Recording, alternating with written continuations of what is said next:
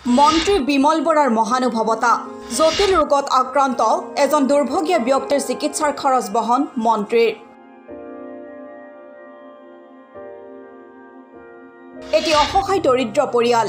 পৰিয়ালটোৰ মূল উপাৰ্জনকাৰীজন এক জটিল ৰোগত আক্ৰান্ত হোৱাত দিগবিদিশ হেৰুৱাই পেলাইছিল পৰিয়ালটোৱে।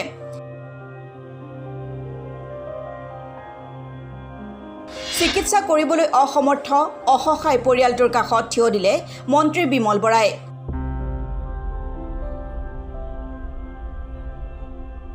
টিংখাঙৰ এক নম্বৰ গড়গুৰি চাওদাং গাঁৱৰ এটা পৰিয়াল। গাঁওখনৰ আৰ্থিকভাৱে দুৰ্বল কুমুদ গগৈ নামৰ লোকজন ব্ৰেইন টিউমাৰ ৰোগত আক্ৰান্ত হোৱাত দিগবিদিশ হেৰুৱাই পেলাইছিল পৰিয়ালটোৱে।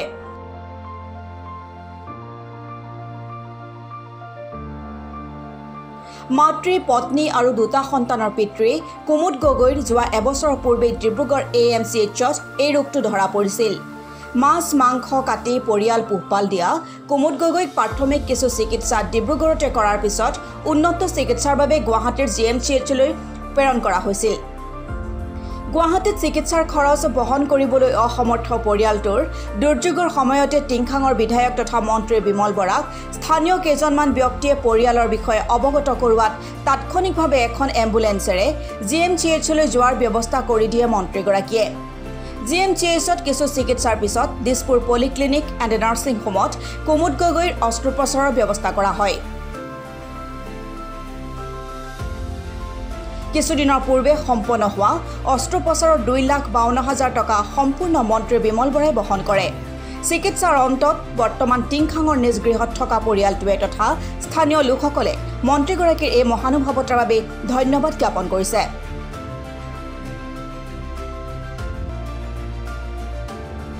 মোৰ অসুখটো দিন হ'ল এবছৰমান তাৰপৰা লাহে লাহে বেছি হৈ গ'ল। বেছি হৈ পিনে এতিয়া মেডিকেল যোৱা হ'ল ডিব্ৰুগড়লৈ ডিব্ৰুগড় গুৱাহাটী পঠিয়াইছিলে। আমাক প্ৰথম নাহতে শুনো দেখুৱাইছিলোঁ ছমাহৰ মাজত ইয়াত এক্সৰে কালি ধৰা নপৰিলে বেমাৰ। ডিব্ৰুগড়ত? অঁ। এতিয়া ডিব্ৰু হেৰি গুৱাহাটীৰ পৰা আমাৰ ট্ৰিটমেণ্ট এতিয়া সিমান নাই কৰা। গুৱাহাটীৰ পৰা ট্ৰিটমেণ্ট বস্তু চস্তু পিল চিল দিছিলে সেইবোৰ খাই আছোঁ মই এতিয়া। মই এনেকৈ হেৰি বিজনেছে কৰিছিলোঁ হাই ব্ৰইলাৰ চলাই দিছিলে। মই বিমল বৰা ছাৰক ধন্যবাদ দিছোঁ নমস্কাৰ। মোক সহায় কাৰণে মন্ত্ৰী ছাৰ আমি ধন্যবাদ জনাইছোঁ। ইমান ডাঙৰ অসুখ এটা হেৰি খৰচ বহন কৰি দিয়াৰ কাৰণে আমিতো ইমানখিনি পইচা নাই আছিলে আমাৰ। এতিয়া ছাৰে যিখিনি সহায় কৰিলে গাঁৱৰ ৰাইজে যিখিনি সহায় কৰিলে সেইখিনি বহুত বহুত ধন্যবাদ জনাইছোঁ আৰু। তেওঁলোকক আমাৰ এতিয়া মাটি বাৰী চব বিকি শেষেই হৈ গ'ল বেমাৰ চাই চাই মেলি। এতিয়া আমি ছাৰে দিয়াৰ কাৰণে আমি মানুহজন ইমানখিনি কৰি আনিব পাৰিলোঁ আৰু নহ'লেতো ইমানখিনি কৰি অনাও আমাৰ সাহস নাছিলে। সেইকাৰণে মন্ত্ৰী ছাৰক বহুত বহুত ধন্যবাদ জনাইছোঁ। তেখেতে বেপাৰ কৰিছিলে। ভাল হৈ থাকোঁতে খুব মাছ চাছ ব্ৰইলাৰ চইলাৰ তেনেকৈ কাটি বিজনেছ কৰি ঘৰখন চলাই আছিলে আৰু যেনে তেনে। এনেকৈ চলি আছিলে। যেতিয়া নেকি বেমাৰ পৰিলে তেতিয়াৰ পৰা একো কৰিব পৰা নাই। মানে পইচা পাতি ওলোৱাও অসুবিধা হ'ল আমাৰ। ঘৰ চলিবলৈও দিগদাৰ হ'ল। ল'ৰা ছোৱালীকেইটাও সৰু সৰু হৈ আছে ইনকম কৰিব পৰা নাই। সেইকাৰণে আমি বেমাৰত ইমানখিনি পইচা খৰচ কৰিব পৰা মোৰ একো সামৰ্থ্য নাই। আছিল এতিয়া যে নেকি মন্ত্ৰী ছাৰে এতিয়া আমাক ইমানখিনি সহায় কৰি দিয়াৰ কাৰণে মন্ত্ৰী ছাৰক বহুত বহুত ধন্যবাদ জনাই ৰাইজকো বহুত বহুত ধন্যবাদ জনাইছোঁ কাৰণ কেলৈ ৰাইজেও বহুতখিনি সহায় কৰিছে আমাক।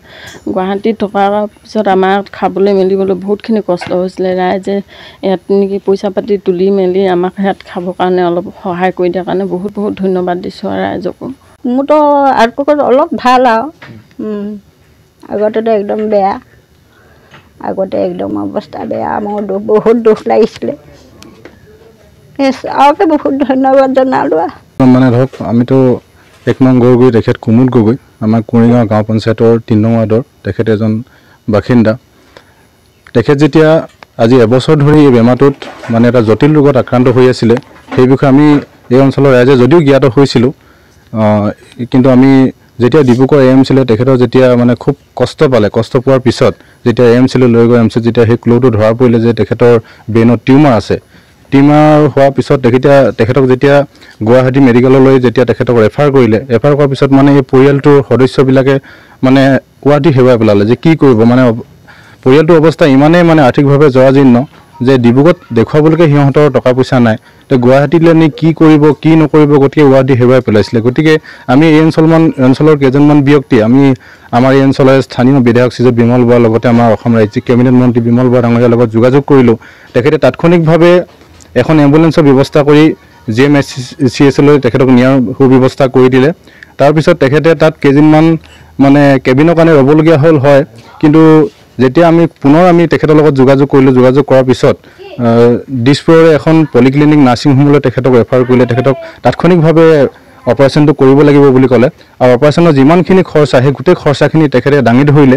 গতিকে আমি এই অঞ্চলৰ ৰাইজ হৈ তেখেতলৈ তেখেত অকল আমাৰ বাবে এজন জনপ্ৰতিনিধিয়ে নহয় আমাৰ সৰ্বসাধাৰণ ৰাইজৰ দুখ বুজি পোৱা আমাৰ দুখৰ সমভাগী হোৱা তেখেত এজন শ্ৰদ্ধাৰ ব্যক্তি। সেইকাৰণে আমি তেখেতলৈ এই আপাহতে তেখেতলৈ আমি সশ্ৰদ্ধ প্ৰণাম তথা তেখেতৰ আশু আৰোগ্য কামনা কৰিছোঁ দীৰ্ঘায়ু কামনা কৰিছোঁ। তেখেত সদায় আমাৰ মাজত এনেদৰে জিলিকি থাকক আমাৰ এজন মৰমৰ শ্ৰদ্ধা ব্যক্তি হৈ থাকক আমি তাকে আমি ভগৱানৰ ওচৰত প্ৰাৰ্থনা জনাওঁ। এনেইতো এবছৰমানে হ'ল বেমাৰটো হোৱা।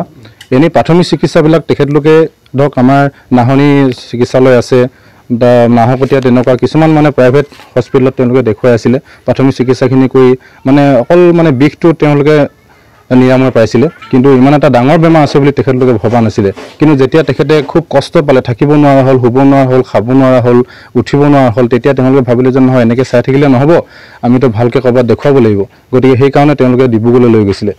গতিকে এই এই ক্ষেত্ৰত আমাৰ স্থানীয় ৰাইজে বহুখিনি সহায় কৰিলে।